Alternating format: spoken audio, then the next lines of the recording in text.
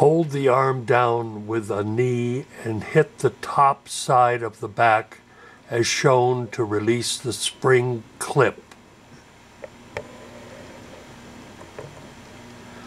Hold the other arm down with a knee and hit the top side of the back as shown to release the spring clip while pulling up on the back to remove it.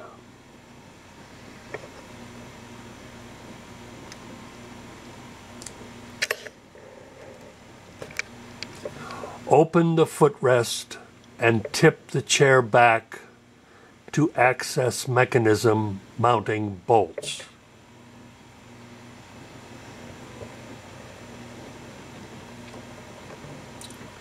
Remove the four mounting bolts shown that connect the mechanism to the chassis. 7 16th wrench needed.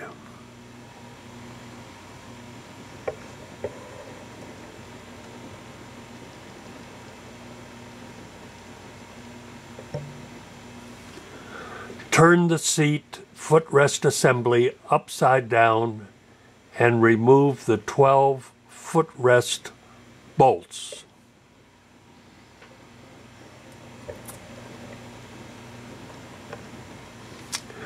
Remove three bolts from the mechanism on each side of the seat and remove mechanism from the seat frame install new mechanism and reattach the three footrest.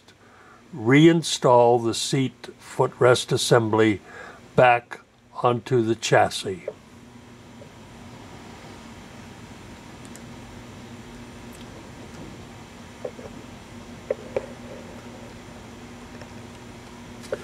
The back has bayonet fittings with spring clips that slide onto the rear of the mechanism.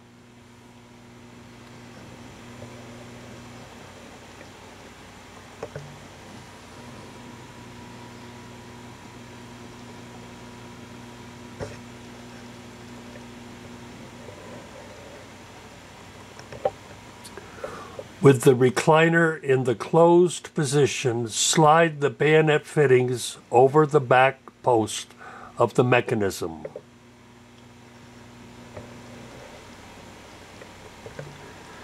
Press down quickly and firmly to lock the spring clips onto the back post.